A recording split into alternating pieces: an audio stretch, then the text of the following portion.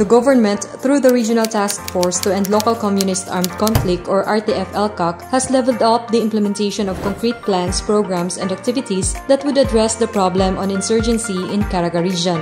Among these initiatives include the rehabilitation and establishment of long-term developmental projects for Caraganos to feel the concern and care of the government and to prevent people from the deceptions and recruitment of the New People's Army to join the terrorist group and fight against the government.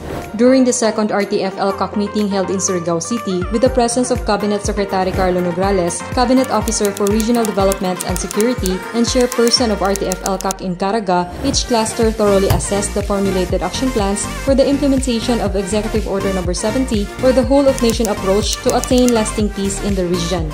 Yung uh, strategy natin now is hindi na uh, national based uh, kundi regional, local, local based na yung ginagawa nating hakbang para tapusin yung uh, insurgency problem natin.